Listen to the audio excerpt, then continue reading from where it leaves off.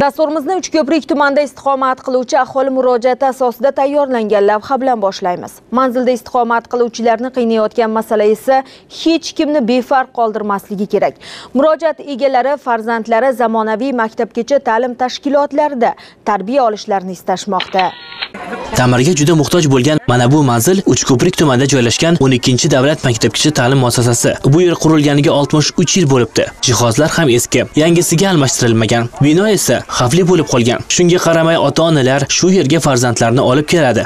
Bog'chaga farzandlarimiz bormasa bo'lmaydi. Uyda qaragani sharoitlarimiz yo'q.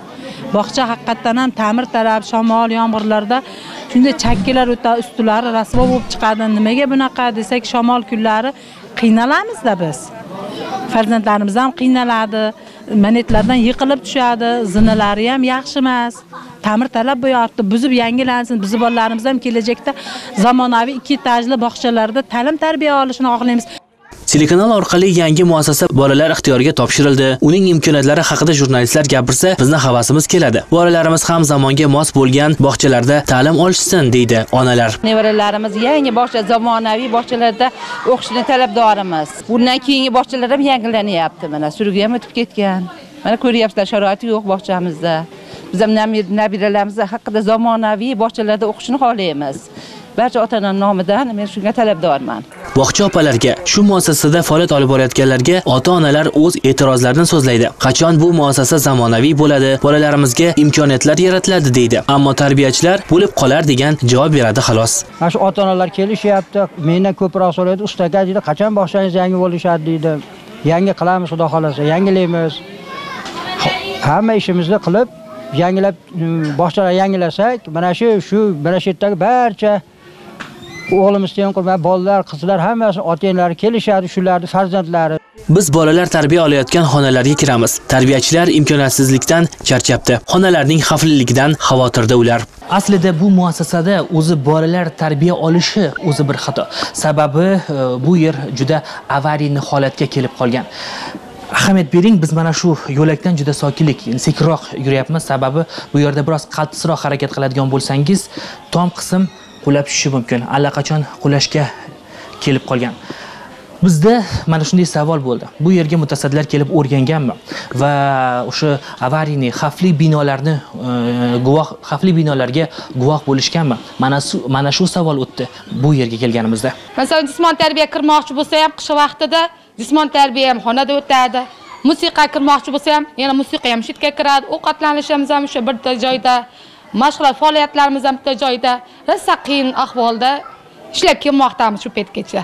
Zamon talablariga mos emas bolalarimiz soni ko'p xonalarimiz kichik. Xonalarimiz faoliyatlarni olib borish uchun bolalarimizni markazlarga bo'lishda biz qiyinchiliklarga duch kelyapmiz. Shuning uchun ko'proq bolalarimizni faoliyatlarda tashqarida ochiq havoda o'tkazishga majbur bo'lyapmiz.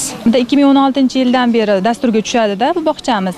O'zi bu bog'cha bir ming to'qqiz yuz oltmish birinchi yilda qurilgan. Har yili dasturga tushadi. O'tgan yil tasdiqlandi ham deb kelib loyihachilar olib kelishdi dasturlarini ko'tarib ko'rdik. Yana qandaydir bir nima bo'ladi yana dasturdan chiqib ketamiz har yili. Shunaqa ahvol og'ir ko'p tashkilotlar kelib buni o'rganishyapti lekin natija bo'lmayapti. Ikki ming yigirmanchi yilda dasturga tushdi deb loyihasigacha chizib ko'rsatishgan lekin bo'lmadi amalga oshmadi. Shunaqa ko'p tashkilotlar kelib o'rganyapti. Sharoit og'ir. Xo'sh, bolalar uchun bu maskanda imkoniyat yo'q bo'lsa, u holda tarbiya topayotgan bolalar uchun vaqtincha bo'lsa ham imkoniyatlarni kim yaratyapti? Har yili mana shu yoz mavsumida o'zimiz yonimizdagi mablag'lardan ta'mirlaymiz. Chunki bolalarimiz albatta yorug' xonalarda ta'lim olishlari kerak. Biz buni ta'minlash uchun o'zimiz yonimizdan oylik maoshlarimiz hisobidan xonalarimizni har yili yozgi sog'lomlashtirish davrida ta'mirlaymiz. Qancha oylik olasiz?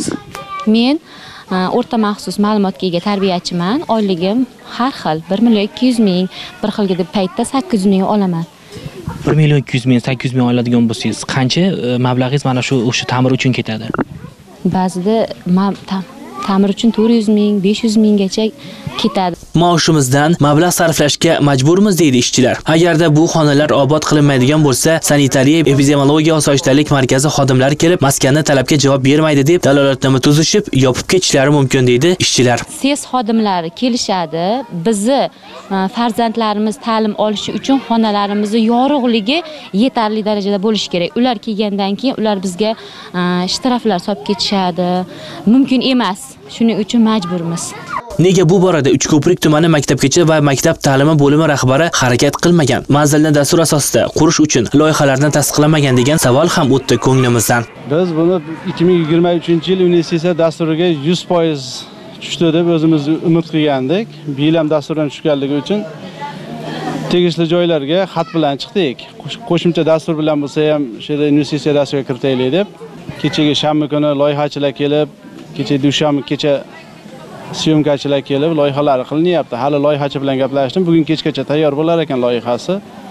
Xudo xolasa yurib qoldi shekilli. ochiq byudjet bor ovoz to'plash orqali bevosita mana shu binoni ta'mirlash mumkin yoki hokimlikni orttirilgan mablag'lari hisobiga mana shu binolar ham rekonstruksiya bo'lishi mumkin edi bu taklifni ham hokimlikka berganmisizlar Open byudjet bo'yicha o'sha 1 milliard 200 milliongacha bu bega endi kamida 6-7 milliard pul ketadi-da.